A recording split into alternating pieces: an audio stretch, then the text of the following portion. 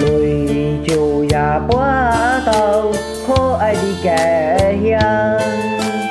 Tuổi chiều già xóa lẻ, nắng nhà sẽ em lẻ rồi chiều già quá tao đi gầy họ tí ba.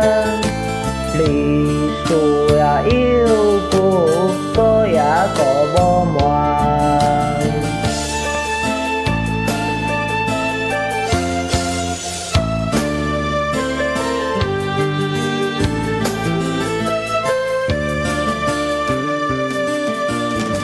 黄啊，水波荡漾，华夏更嘹亮。